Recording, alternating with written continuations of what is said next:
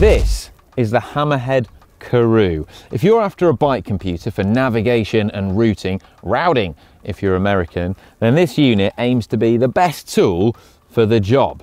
There's a lot of tech and hardware crammed into this Android-based computer though, meaning it has the potential to offer far more than just navigation. In this video, we're going to take a detailed look at all the features and exactly the things it can do. Now, if you like our content and would like to support the channel, then please click subscribe down below and also the bell icon so that you get notifications. Right, let's have a look.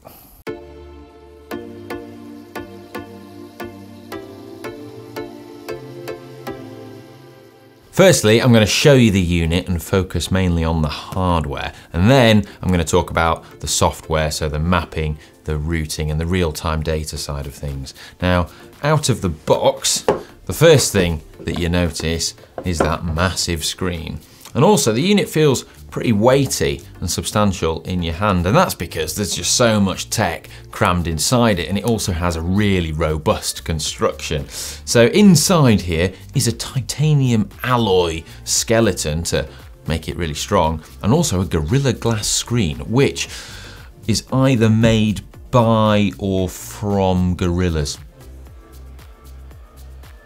I can't remember but either way it's really tough stuff. While on the subject of the screen, this is no ordinary bike computer screen. The Karoo is more like a smartphone in this regard. The screen is said to be the highest definition and most responsive on the market for bike computers and it's 480 by 640 with 229 pixels per inch. Um, the responsiveness is really impressive and you can multi-touch and pinch zoom in or out on the maps and stuff. It's like a smartphone screen. As well as the high resolution screen, there's also anti-glare built in, a feature you will never, ever, ever need in the UK, but you will in other places. There's also false touch detection on the screen as well, which is designed to help stop rain droplets from interfering with the touch screen, something that you will definitely need in the UK. Although to be fair, it's quite sunny, it's weird. Global warming. There's also the option to lock the touchscreen by pressing these two buttons here.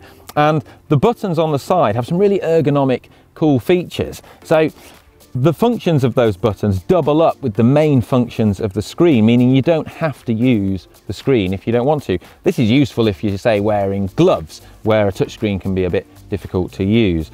Also, the buttons are offset, which is a clever idea because it means when you pinch the unit to press the buttons on one side, you don't accidentally press the buttons on the other side as well. There's Wi-Fi ANT Plus and Bluetooth connectivity built into the unit and the claimed battery life is 15 hours but there is a handily placed USB port here that's uh, useful for charging it on the fly if you want to with an external battery pack. Something that we increasingly see people do when they're bike packing or doing extreme endurance events.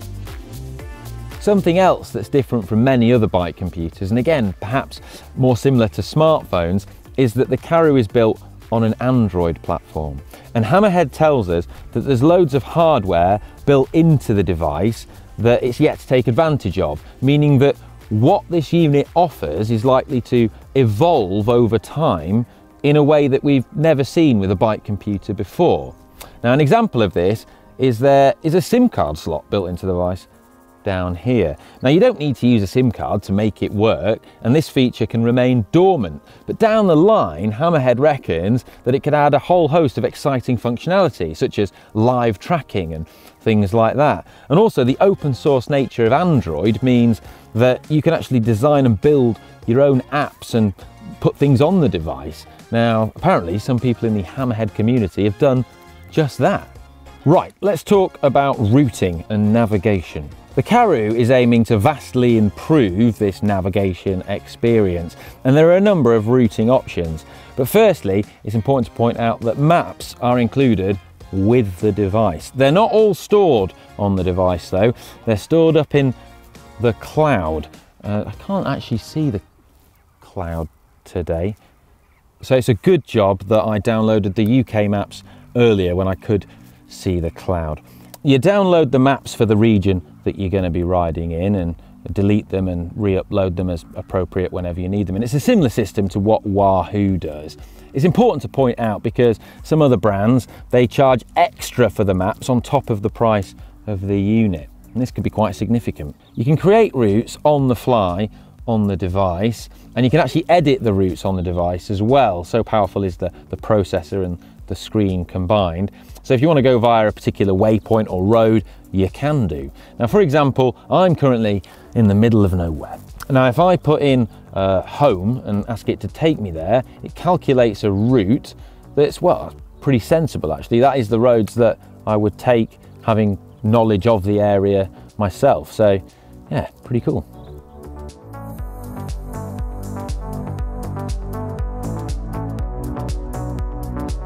You can also put routes on the device using Hammerhead's own dashboard.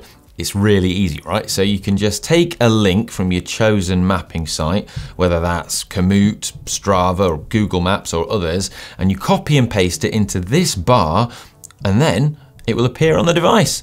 So easy.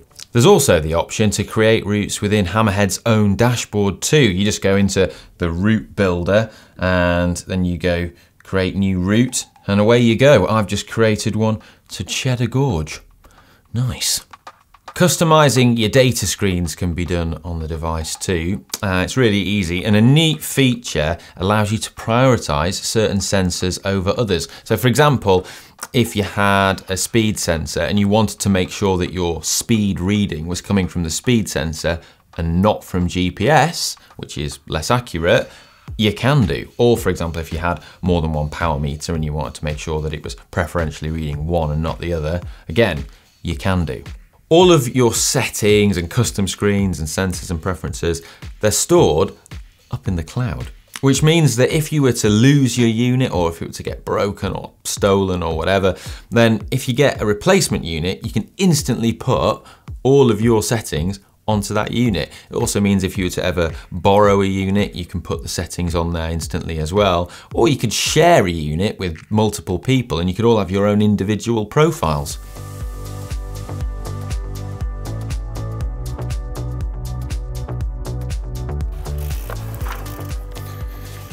And when you finished your ride, when you go to upload it to your chosen third-party site, whether that's Strava, Komoot or whatever, then you actually get the option to name the ride and set the privacy settings on the device before it just automatically uploads. I like that and it's not a feature that I've encountered on any other bike computer before. Nice. Now I hope you found this video informative um, and I hope you can see that it's a really interesting device. And if you have, then please give it a thumbs up, share it with your friends, and let us know what you think about the Karoo in the comments section down below.